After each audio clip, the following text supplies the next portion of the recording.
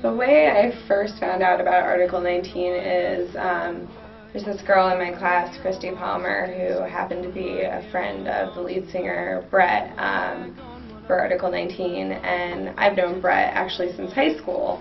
And I didn't realize that he was in a band, so it was kind of cool seeing him in the Hartford Courant. Um, I have heard of the band Article 19. I first heard of them uh, through my friend Brett. He's in the band. Um, and I know Doug through Tenet, the band he used to be in before they were Article 19. Say goodbye to this round, looking for someone to come in. The fact that their style of music isn't like what you normally hear.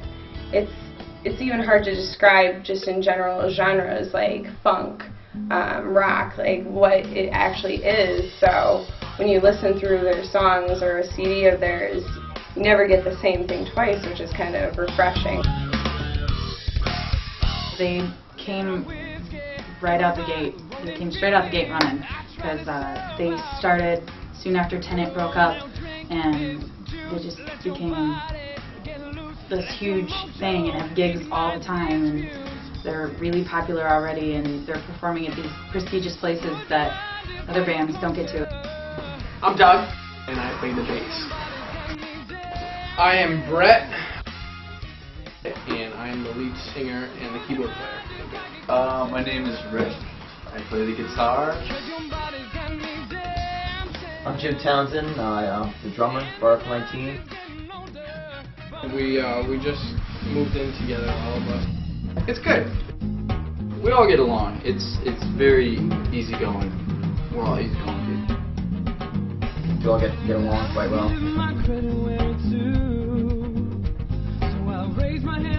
I think Brett came up with it when he was on the internet searching for some different titles. Oh, I came up with it. no, Brett came up with it. Um, what it means, uh, well, I guess, is that it's something with some bill of something.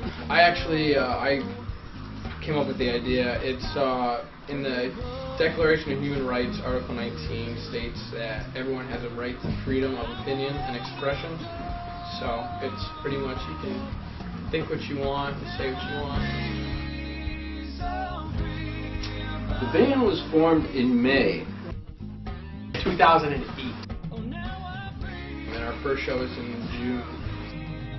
Arc 19 has been around since May of this year. Seven months, eight months. Our first show was at Mohegan Sun. We've had a few shows there since.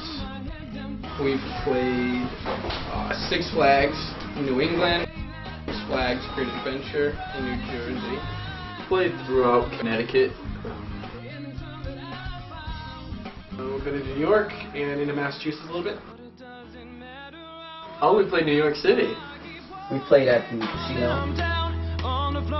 uh, UConn, local shows at local bars like uh, Sully's Pub, things like that.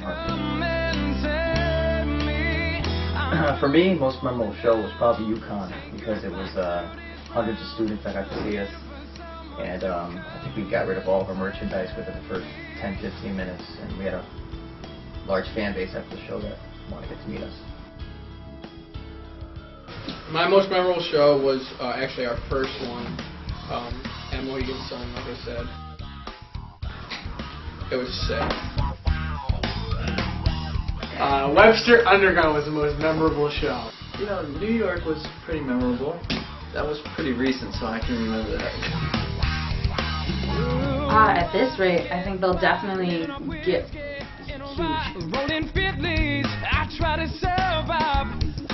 think they'll definitely get somewhere. I think they definitely have the heart and the initiative to get there.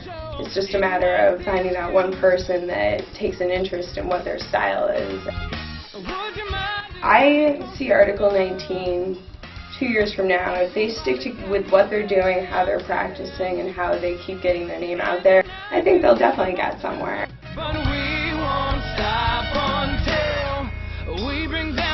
I mean, they're well on their way to getting known and getting out there because they're up in Massachusetts doing stuff. They're all over Connecticut doing things. So I think they're really getting their name out there and they're going to be a force to reckon with.